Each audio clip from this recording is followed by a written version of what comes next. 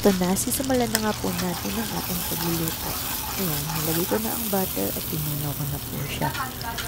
Ngayon, susunod na ang ating bawang. Ayan, kapulayin lang natin ng kaunti. Tapos, ilalagay na rin po natin ang ating sibuyas. Ayan, halu-haluin natin.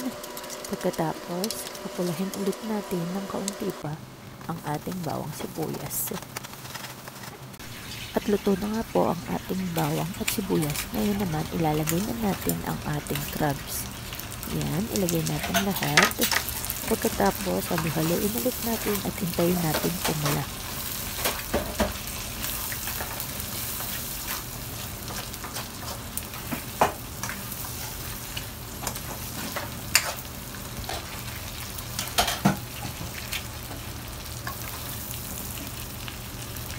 At yan na nga po, hinalo ko na siya ng hinalo at ngayon isusunod naman po natin ang ating lobster. Yan, ilagay natin lahat, ihulog pa natin. Yan, at haluhaluin ulit natin. Antayin ulit natin siyang pumula.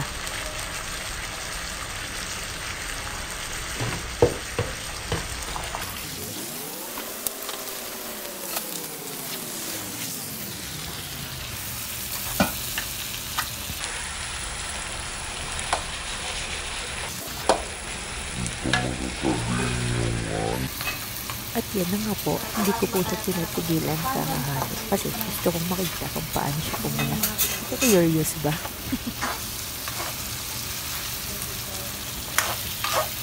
yan, sige, haluin ko pa ng haluin. Hanggang sa kulang na lang ay madurog siya. Pero hindi pa madudurog dahil may shell.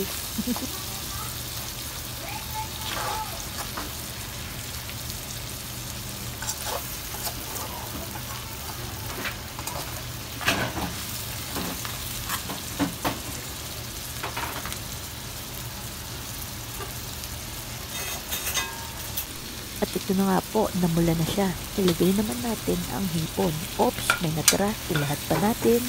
Yan. Nailahat na po ang hipon. Ngayon, halo-haloin ko po ulit. Yan. Halo lang ng halo. Hanggang sa mangalo kang kakahalo. Pero hindi. Madali lang yan. At yan po, nakikita na po natin na naluluto na siya. Kaya yan, pinabayaan ko lang ng saglit, hindi ko hinalo.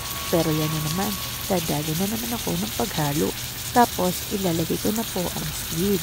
Yan, pampadagdag lasa.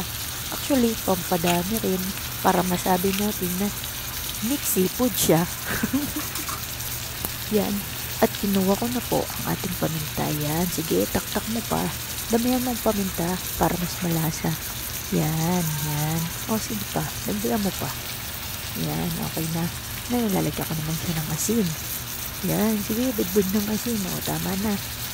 Tapos, lalagyan ko na rin siya ng Mamasitas Oyster Sauce. Oops, hindi ko yan sponsor. Pero, pinakita ko lang sa inyo para may idea kayo kung ano yung nilalagay ko. Yan. O, sige. Paikot-ikutin natin hanggang sa mahilo. Yan, at nahilo na nga. Tama na. Yan, at hahaluin ko na nga siya. Medyo matagal kasi tinakpan ko yung oyster sauce. Yan, haluin ko na. Yan, at haluin mo pa. Sige, halo lang hanggang sa kumalat yung ating oyster sauce at yung paminta, pati na rin yung asin.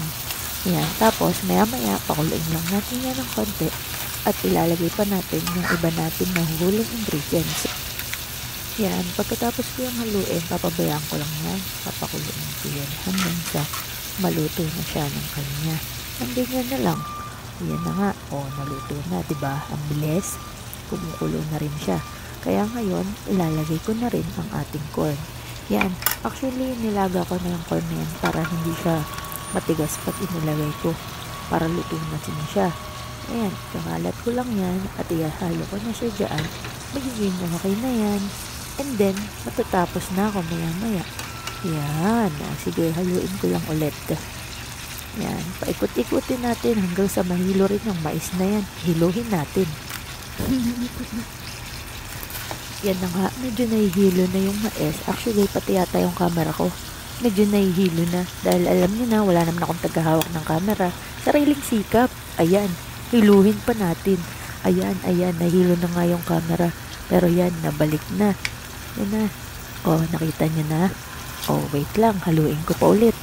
Kulang pa yata sa halo. Kawawa naman. Hinalo na ng hinalo. Pinaikot pa ng pinaikot.